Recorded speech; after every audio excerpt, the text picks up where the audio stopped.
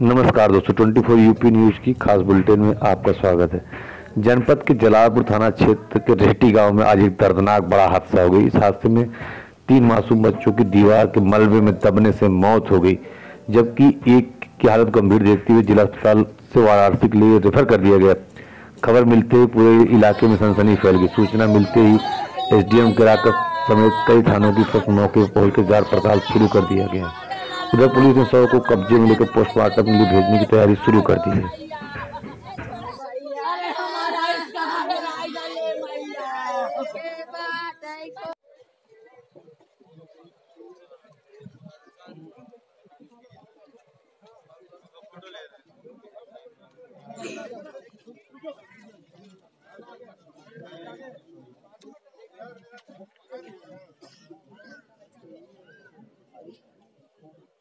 अरे हमारा इसका हमारा ले मैया के बात है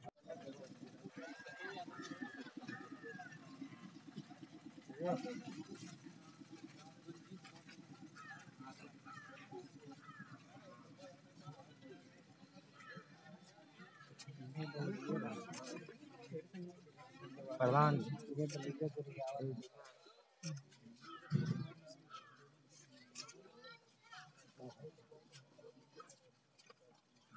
जी जब मैं मस्जिद जा रहा था तो जीसीबी जीसीबी नहीं आई थी। तो मैं मस्जिद में था तो मस्जिद से आवाज़ आया कि पाँच बच्चे जीसीबी से वहाँ पे एक्सीडेंट हो गया है। यहाँ पे जो दीवार थी दीवार उसके ऊपर बच्चे लोगों को ऊपर गिर गया। पाँच इंची की दीवार था और इतना सारा यहाँ पे बालू एक ट्रैक्टर का एक ट्रक एक ट्रक का बालू था वो कैसे लोड लेगा आप लोगों को? कैसे लोगा? और दूसरी बात कि जो बालू गिरवा रहा था उसको यहाँ पे रहना चाहिए ना।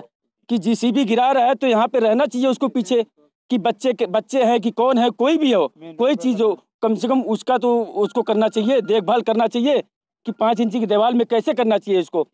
और इसका क्या किया जाए इस बताओ इसको आप लोग क्या करें और हमारे दर्शक जो है मन हाँ।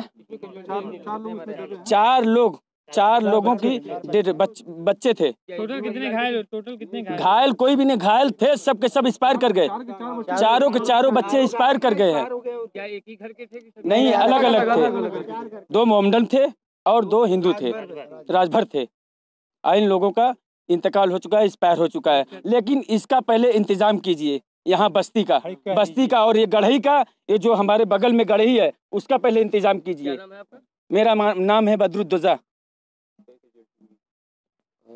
जानकारी हुई कि एक दीवार गिरने से चार बच्चे दब गए थे, जिसमें एक की मृत्यु तत्काल हो गई थी मौके पे।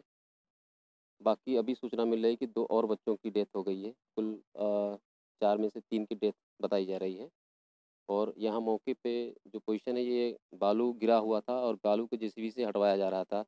और शायद दीवार पे बहुत ज़्यादा लोड पड़ गया होगा और बच्चे बगल में होंगे दीवार गिर गई है, उनके ऊपर ऐसे ही घटना हुई है।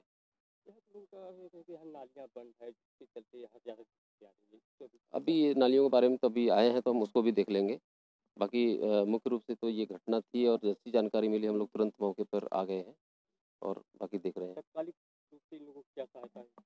ये सहायता चूँकि ये एक्सीडेंटल केस है तो इसमें हम जिलाधिकारी स्तर से बात करके दैवी आपदा होता तो मैं तुरंत घोषणा कर देता लेकिन ये दैवी नहीं है एक एक तरह से ये मानवकारित घटना है। तो इसमें यही हुआ कि मुख्यमंत्री राहत को सहायता दिलाने की कोशिश की जाएगी।